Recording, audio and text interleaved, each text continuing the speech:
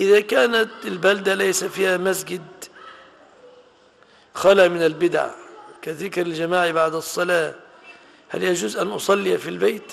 لا. إذا كانت المسألة متوقفة على أنهم يذكرون ذكرا جماعيا في المسجد بعد الصلاة فرفع الصوت بالذكر عند التأمين المكتوبة كان على عهد الرسول. لا تترك الجماعة.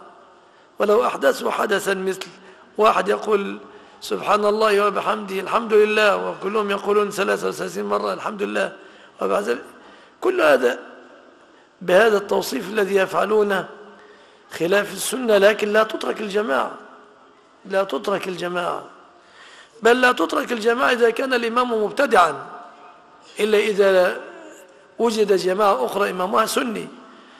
فالذين حاصروا عثمان منعوه من الصلاة في المسجد.